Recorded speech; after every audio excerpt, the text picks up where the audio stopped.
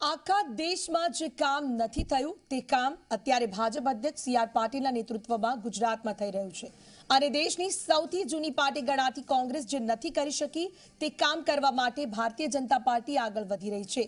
આ કામ છે મિશન એકસો બ્યાસી. લોકસભામાં ભાજપે એક વખત નહીં, સતત બે વખત મિશન છવ્વીસ પાર પાડી. એ બતાવી આપ્યું છે કે બૂથ મેનેજમેન્ટથી ચૂંટણીઓમાં સો પરિણામ મેળવી શકાય છે. વર્ષ બે હજાર ચૌદમાં અને વર્ષ બે હજાર ઓગણીસમાં ગુજરાત ભાજપે લોકસભાની છવ્વીસમાંથી છવ્વીસ બેઠકો જીતી લીધી અને કોંગ્રેસ બંને વખત શૂન્યમાં આઉટ થઈ. આવો ચમત્કાર ગુજરાત ભાજપના સુકાની સીઆર પાટીલ વર્ષ બે હજાર બાવીસની ગુજરાત વિધાનસભાની ચૂંટણીમાં કરવા માંગી રહ્યા છે. ગુજરાત વિધાનસભાની પેટા ચૂંટણીમાં આઠમાંથી આઠ બેઠકો જીતીને સીઆર પાટીલ પાટીલે સાબિત કરી ચૂક્યા છે કે ચૂંટણી જીતવામાં પેજ પ્રમુખની ભૂમિકા કેટલી મહત્વની હોય છે.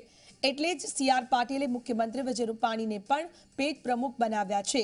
નાયબ મુખ્યમંત્રી નીતિન પટેલ હોય કે રૂપાણી સરકારના કેબિનેટ મંત્રીઓ હોય, ગુજરાતમાંથી ચૂંટાયેલા સાંસદો જ કેમ ન હોય, તેઓ મોદી સરકારની કેબિનેટમાં જ કેમ ન હોય, તમામ માટે પેજ પ્રમુખ બનવું ફરજિયાત છે. એટલું જ નહીં સી આર પાટીલે પેજ પ્રમુખની જવાબદારી પણ નક્કી કરી છે.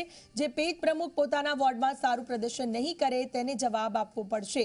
આ કાર્યકર્તાઓને તાલીમ આપતી વખતે સી આર પાટીલ વારંવાર કહી ચૂક્યા છે.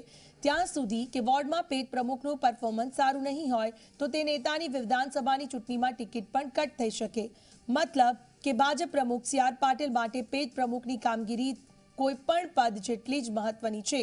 જો તે નિભાવવામાં કોઈ ઉણા ઉતરશે, તો પાર્ટી જવાબ માંગશે. સી આર પાટીલે તમામે તમામ એકસો બ્યાસી વિધાનસભા બેઠકો, તેત્રીસ અને તેત્રીસ જિલ્લા બસો એકાવન તાલુકામાં પેજ પ્રમુખ બનાવવાનું બીડું ઉપાડ્યું છે. મોટાભાગની કામગીરી પૂર્ણ થઈ ચૂકી છે.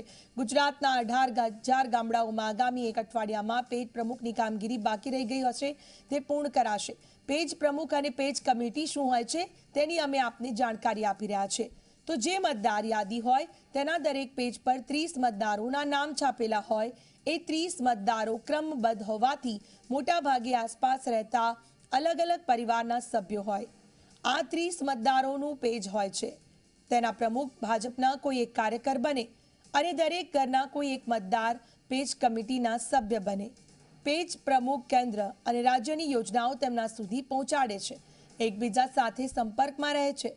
લોકસભાની ચૂંટણી હોય, વિધાનસભાની ચૂંટણી હોય, જિલ્લા પંચાયત, તાલુકા પંચાયત, પાલિકા કે મહાનગરપાલિકાની ચૂંટણી હોય, દરેક ચૂંટણીમાં પેજ પ્રમુખ બૂથ સુધી પોતાના પેજના મતદારોને મતદાન માટે લઈ જાય છે.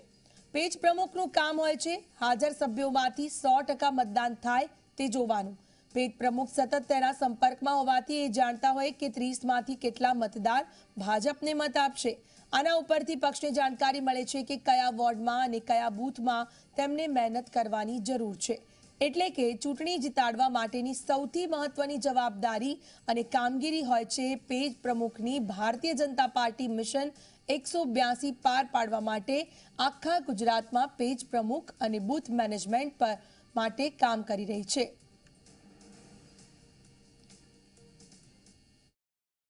એ ત્રીસ જે પેજમાં સભ્યો છે, એ સભ્યો સાથે સંપર્ક રાખે.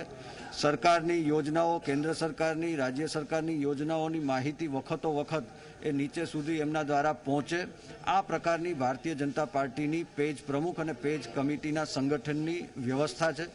અમારા પ્રદેશ અધ્યક્ષ આદરણીય સી આર પાટીલજીએ પ્રદેશ અધ્યક્ષ બન્યા બાદ એમણે જાહેર કરેલું કે ત્વરિત ધોરણે આખા ગુજરાતમાં તમામ બૂથ ઉપર પેજ પ્રમુખ અને પેજ કમિટીની વ્યવસ્થાઓ ઊભી કરવામાં આવશે અને એના લીધે ભારતીય જનતા પાર્ટીનું સંગઠન એ વધુ મજબૂત કરવામાં આવશે. ભારતીય જનતા પાર્ટીનો જનાધાર એ વધુ મજબૂત કરવા માટેની આ એક સંગઠનની એ આખી એક પ્રક્રિયા છે.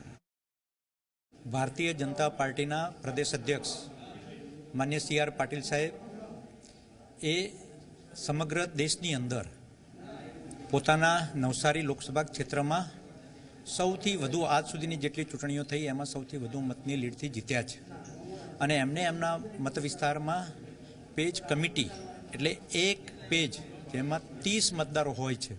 એ ત્રીસ મતદારોમાં એક પેજ કમિટીના પ્રમુખ અને એમાં આવતા પાંચ સાત જે પરિવારો હોય, એ પૈકી ઓછામાં ઓછા ચાર.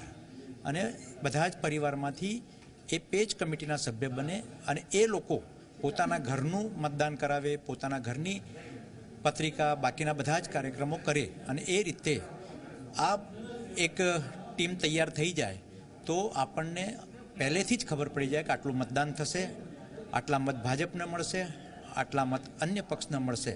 અને એ રીતે લોકસભાની ચૂંટણી હોય, વિધાનસભાની ચૂંટણી હોય, કોર્પોરેશનની હોય કે તાલુકા જિલ્લા પંચાયતની કે નગરપાલિકાની હોય, તો એમાં પોતે કાર્યકર્તા પેજ કમિટીના પ્રમુખ એ આશ્વસ્ત થઈ જાય છે કે મારા પેજ કમિટીમાંથી મારા ભાજપના મતદારોનું મેં સો ટકા મતદાન કરાવ્યું છે. અને જે ભાજપના મતદારો હોય એ પેજમાં એનું સો ટકા મતદાન કરાવીએ, તો ભારતીય જનતા પાર્ટીની કાર્યકર્તાની જવાબદારી પણ નક્કી થાય છે અને ઓછા સમયમાં સો ટકા મતદાન પૂર્ણ થાય છે. અને આ રીતે પેજ કમિટી એ ખૂબ મહત્ત્વની છે અને એના પેજ પ્રમુખ એ પેજ કમિટીનું લાયોજન, સંકલન અને એની સાથેનો સંપર્ક રાખતા હોય છે.